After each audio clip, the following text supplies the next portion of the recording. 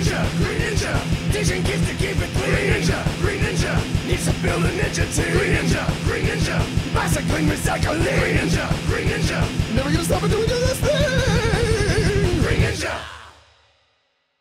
On this episode of the Green Ninja Show, Keith and Rachel from Sarasota, Florida ask, What's better? Plastic bags? Or paper bags. Plastic. Paper. Plastic. Paper. Plastic. Paper. Plastic. Paper. Plastic. Paper. Plastic. Paper.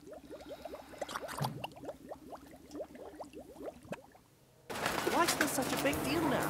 We've always gotten plastic bags before. I'm just saying we should be going with paper bags. No way! Plastic's good for multiple uses. It's not even good for one use. My point is, they're easy to reuse. I thought you wanted to be more environmentally conscious. Whoa! Green Ninja? The climate action superhero. He can confirm the plastic bag's the greener bag. Paper's recyclable. That's clearly better. This bag is made of trees? And this bag is hurting the fishies. What do we do? Reusable bags? What's so good about.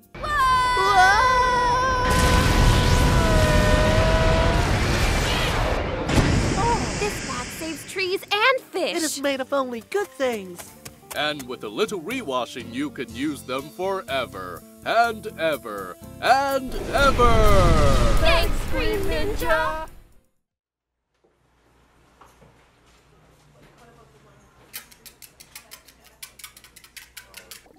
See? There's no reason to fight. Reusable bags are alright. To learn more about bags, visit greenninja.org! Green Ninja! Green Ninja!